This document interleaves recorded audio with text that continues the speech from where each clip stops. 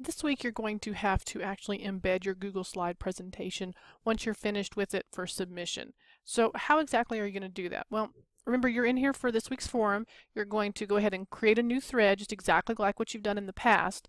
The instructions show up on the screen. You come down to the message. Remember you got to give it a catchy title. So give me something and or your classmates something that they want to actually go and view your specific slideshow. So make sure it's catchy, you know, really an attention getter. Now, I need to actually embed this Google Slides presentation. So how am I going to do that? Well, you're going to need to go and actually open up the slideshow that you created in Google. So this is actually a blank slideshow, but I, the principle is what's here and I can still show you how to do that. So remember the first thing you have to do is you have to share the file. So when you come into share, you click on advanced and then you want to change it. This one I already have, everyone ha can view it, but if it's not that way, it's just you, remember to click on anyone with a link and then can view and then click save. So you've got that finished, you click done. Now, what am I going to do to get code that I can use in my discussion board in Blackboard? Well, you're going to come up here to File, and you're going to click on Publish to the Web.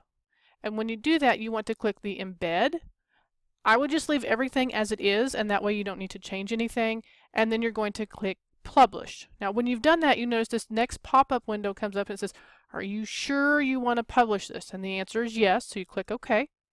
Now once I've done that I get this highlighted text. I'm going to go ahead and push control C so I can copy that text. Next we need to go back into Blackboard. So now you're back into your Blackboard and I've written my catchy title. Now I've got that code that I did a control C. I copied it to my clipboard. So I'm going to push right here where it says HTML. I'm going to click that and I get a new pop-up window. And then I'm going to push control V and that's going to put my Google Slide code directly on the screen. And then I make sure you hit update. If you hit cancel, you have to start all over.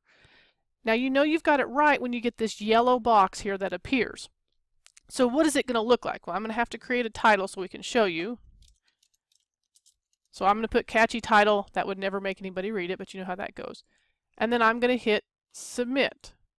Now when I hit submit, it's going to show it on the screen. And if I go back in and I look at it, I notice that it shows me a Google Slide presentation. And that's what we want.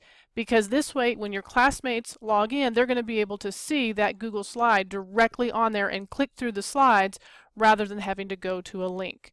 So if you have any other questions, make sure that you let me know. Otherwise, this is what you're going to do and how you're going to reply as usual.